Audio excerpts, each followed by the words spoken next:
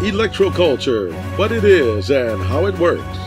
Electroculture is an over 100 year old proven process that uses antennas and devices to redirect the free electromagnetic energy of the earth and sun to enhance plant growth and much, much more.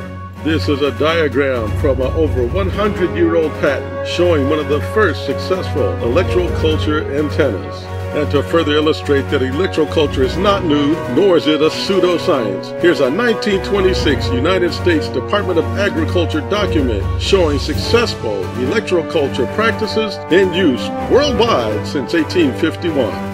Electroculture can be practiced indoors or outside with spectacular results.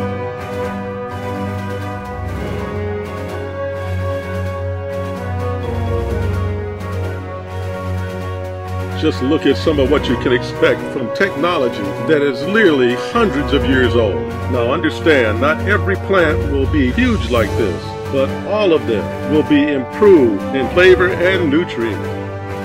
How's that for a bunch of grapes? Some flowers so tall you need a ladder to reach them.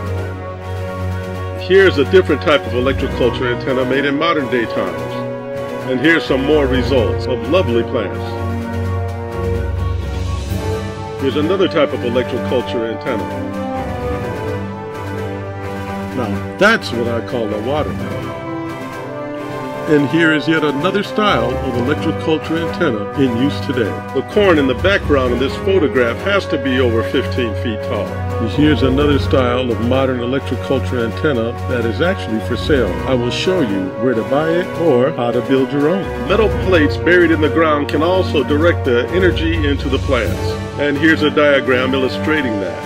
These metal plates are made out of zinc and iron, thereby setting up a natural ground-based battery that powers the electroculture technique. And here's an onion so large it could bring tears to a whole herd of elephants' eyes. In this photograph, we have a cylindrical shaped magnet. There is a hole in the center. Through the hole is passed a wire, and the wire can either be buried in the ground or laid on top of the ground. And here we see the results Charging the water with energy that is used to water the plants can also cause the electroculture effect to take place.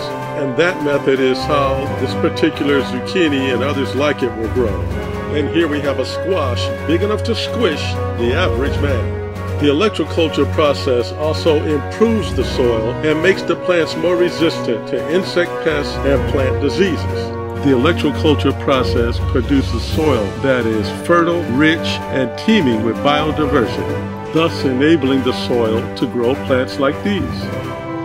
In fact, electroculture makes organic growing the least expensive way to grow food of any kind. Now, each and every one of us has the ability to get back to the future when it comes to our food and caring for the soil that produces it.